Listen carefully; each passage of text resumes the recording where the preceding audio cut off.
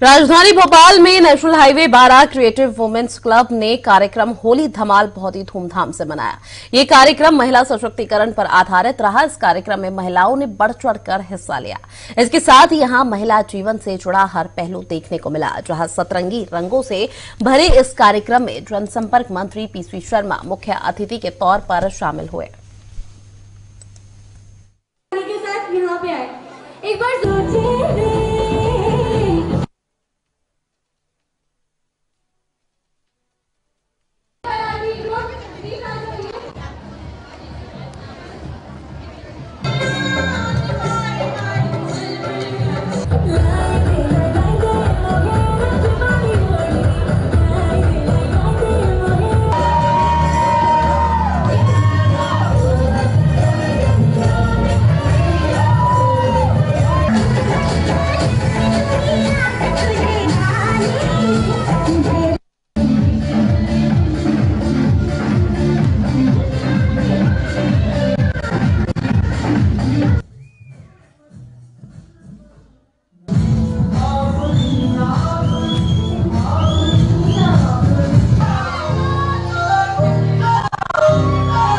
N S twelve creative women's club का ये होली धमाल celebration यहाँ नंदन पैलेस में हम सभी ने आयोजित किया है।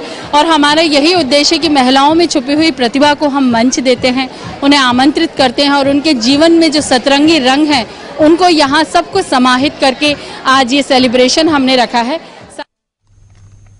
आज 8 मार्च को दुनिया भर में अंतर्राष्ट्रीय महिला दिवस मनाया जा रहा है। अंतर्राष्ट्रीय महिला दिवस की पूर्व संध्या पर राजधानी भोपाल में वुमेन्स प्रेस क्लब ने पत्रकारिता और चुनौतियाँ विषय पर कार्यक्रम का आयोजन किया।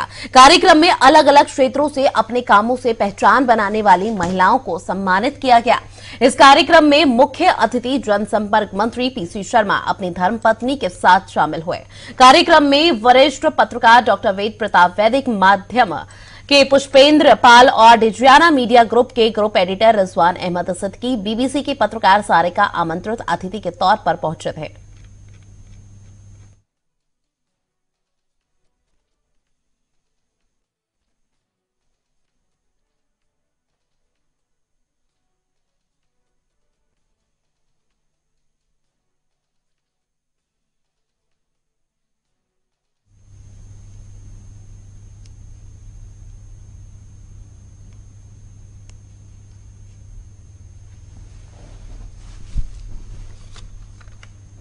बुलेटिन में फ़िलहाल वक्त एक छोटे से ब्रेक का चलता